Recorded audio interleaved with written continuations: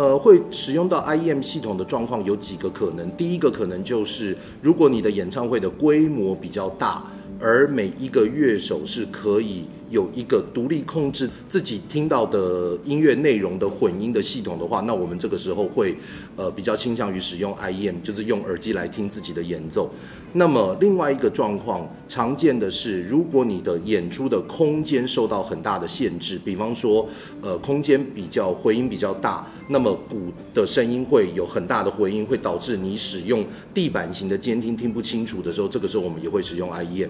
那么另外一个很常见的场合是。如果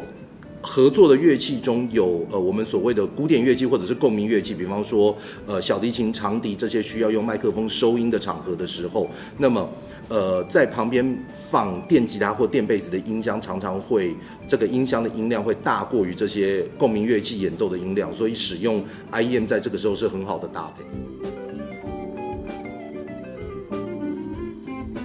的优势当然就是呃体积比较小，那么如果你戴的适当的话，在舞台上其实是不会造成什么视觉上的干扰。好，当然很多人会说，呃，像这样子小型的监听耳机常常会有低音不足的问题，但是借由良好的隔音设计。好，你可以在呃设计上来弥补这种小耳机的监听在低音上面的不足，更何况最近这个科技发展的进步，那在小型的耳机中，你可以塞进去的发音的单体越来越多，那么频率的反应也越来越好，所以这个大耳罩的优势实际上是呃最近来说其实并没有那么的明显的优势，反而是这些小耳机的品质已经渐渐的赶上大耳罩式耳机能够有的特色。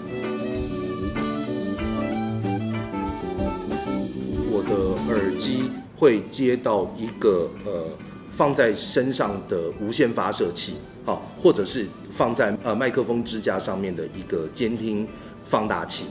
好，也就是说 P A 那边过来的讯号是送到这个放大器，然后再接到我的耳机。如果是像这样子的状况，这个放大器里面并没有办法微调每一个乐器在耳机里面的比例，你这个时候必须要去跟 P A 沟通，就是你耳机里面需要听到什么样子的声音。那么另外一种状况的话呢，是呃连接到一个我们通常叫做 Avion 系统，就是呃它是使用网路线互相串接起来的个人监听系统，它会架在你的麦克风架上面，然后你可以用呃手动的去控制呃每一个乐器在你耳机里面听见的声音。那么这些讯号的来源是借由网路线与那个 PA 那边相连接。